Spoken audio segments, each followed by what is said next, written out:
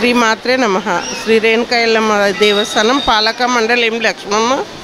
ఈరోజు జనవరి రెండు వేల రెండు ఇరవై నాలుగు అయితే మనకు మనకు సనాతన ధర్మం ప్రకారము మనకు ఉగాది మనకు నూతన సంవత్సరం. కానీ ఈరోజు ఇంగ్లీష్ నెలల ప్రకారము జనవరి ఇయర్ మారుతుంది కనుక ఈరోజు రెండు వేల ఇరవై నాలుగు ఈ కొత్త సంవత్సరంగా అందరు ప్రజలు జరుపుకుంటారు.